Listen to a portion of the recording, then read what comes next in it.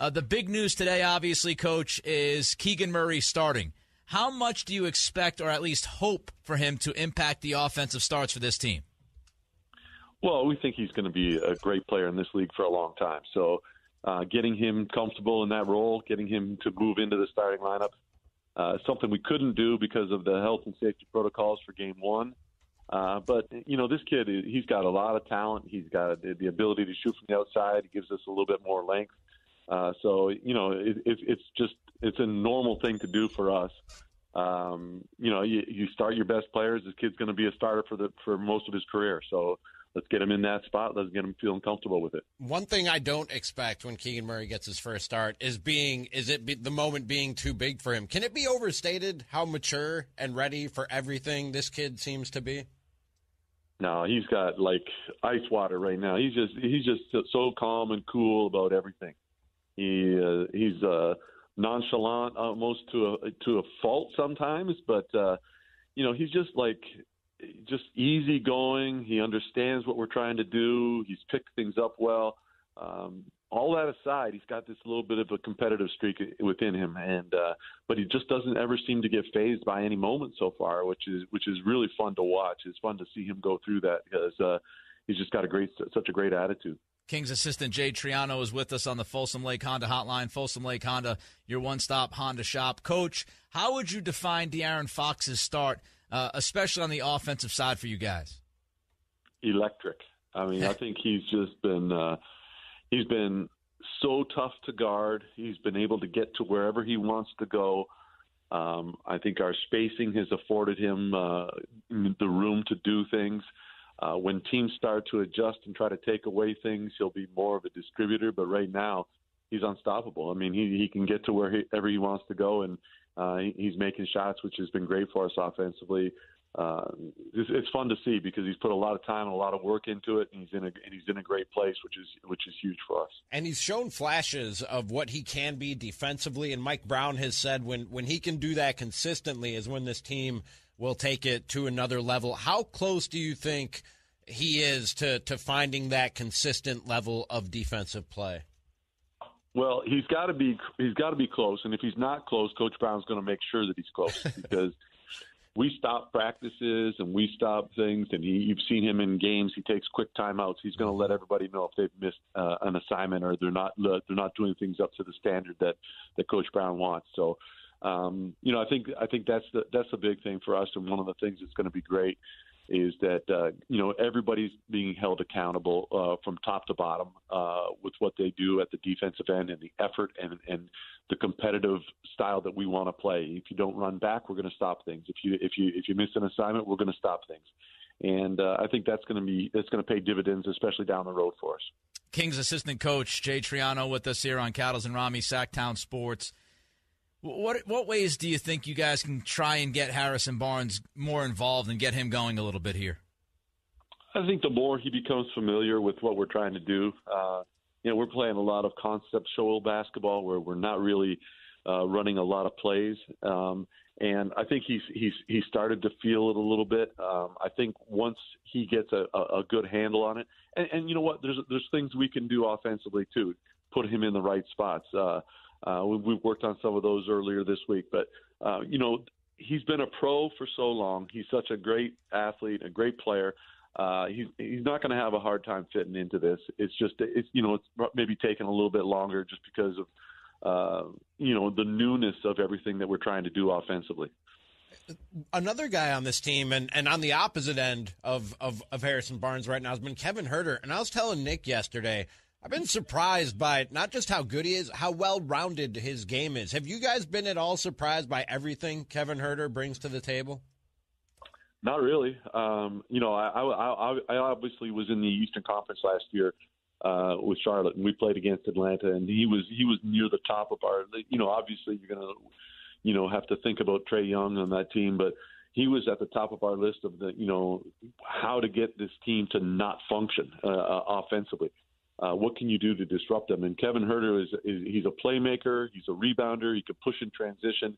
He had a little bit of everything. He has some length at the at the defensive end, so he was always a guy that we looked at as, uh, uh, you know, he's got more than one thing. He's he yes, he can shoot the ball, but he's got a little bit more to his game than than people give him credit for. And I think it was even in the offseason we were looking at uh, you know possible trades to make, and uh, he, you know we weren't even looking at him, but he kept showing up on the screen. He kept showing up on the screen. We said, "This is a kid, man. This is exactly what we're looking for." And uh, sure enough, uh, you know things things uh, unfold the right way, and we, he ends up on the roster here. Kings assistant coach Jay Triano with us. He's on the Folsom Lake Honda hotline. Folsom Lake Honda, your one stop Honda shop. Coach, you finally got Domas going a little bit on Sunday night. Ultimately, yep. When you envision this offense, what's the perfect role that you want to see Domas playing for you guys? Probably 50 50 distributor, score, finisher, um, where he's you know, you know, making plays for other people because he's going to have the ball in his hands a lot. Uh, I think everybody in this league, you know, gears up to play pick and roll, and you know, with with with the flip to him and the, and the DHOs and the quick flip backs and the quick screens, it's tough to to scheme against us. Uh, so I think uh, the mixture of you know how he can distribute to his teammates, and then uh, once he starts doing that, the floor is going to open up for him. And I think we saw a little bit of that against Golden State, where he's able to finish at the basket and, and have a little bit more space than uh, everybody just crowding around him at the basket. To bring things full circle, how much do you think Keegan Murray being out there in the starting lineup and, and maybe a few more minutes opens things up for Domas and De'Aaron Fox? No, definitely. I mean, I think the one thing that you know Keegan's showed already is how you know his proficiency in being able to shoot the basketball. So uh, him being on the floor uh, he's just going to be another floor spacer. I mean, we've got you know now you've got Harrison out there who can slash and get to the rim. You got Foxy um, playing off of Domas, and then and, and Huerter spreading the floor as well. So it just it just creates another guy who can spread the floor and create more space for everybody else. And if you if you happen to help in and help on those guys, then he's going to be able to knock down shots. So uh, you know, Keegan's a he's a he's a huge plus for us offensively, and uh, we're excited to have him in that starting lineup. Coach Jay Triano with us. Just a few more for you, Coach. And again, we appreciate your time. You, you guys are sixth in the NBA in assist ratio. Have you been pleased with the ball and man movement so far? I have. Uh, I think I think we can have more. Uh, you know, and I say that you know, you know, being sixth is okay, but I, I, you know, we're watching film and we're seeing more opportunities where we could make that extra pass, and uh, I think the more that we can make that extra pass and, and, and keep climbing the ladder in the NBA, it's going to be uh, it's important to the morale of everybody. If everybody's touching the ball, everybody's going to be more engaged at the defensive end, and uh, everybody feels part of the sharing it. And uh, I'll tell you what, you know, ISO basketball and playing selfish is contagious, but so is distributing the ball. And I think if we can, you know, keep trending towards we're a team that's going to share it, it's going to it's going to help all of us in the long run because uh, you know, the catch and shoot shot is the, is the highest thing that we can do, and if we're passing the ball, we're, we're, we're creating more of those opportunities. There have been times throughout the preseason and these first three games of the regular season where we're a little bit confused by some of the rotations, which we should be. We're not in practice in the meetings, you know what I mean? But how yeah. close do you think Coach Brown is to figuring out exactly what the rotations are, who comes off the bench when, and who fits together? Well, I think we're all still trying to figure each other out. I sure. mean, I, I think you know, coaches, uh, you know, the first time with this group and first time in real games, and the guys are playing extended minutes. You know, preseason was just everybody's going to play a little bit. Now guys are playing. How does a guy respond to playing 11 minutes a game rather than 24, uh, like he was in preseason?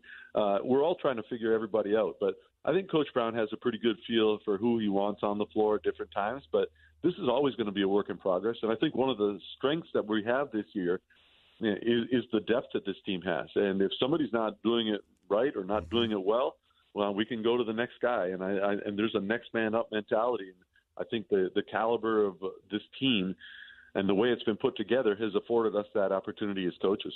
Last one for you, coach, today. Defensively, you guys are hovering towards the bottom third of the league in, in rating. Yep. What's the top priority to address on that end, and what's been the top priority the last few days of practice? I think the biggest thing, especially uh, coming in against Memphis, is is defensive transition. Uh, I think when we can get back and get our defense set, we're going to be really good. Uh, I think the, you know getting back against Ja Morant tomorrow night is going to be huge. One of the fastest players in the league. uh, building that wall and establishing where we are in the, as a half court defensive team.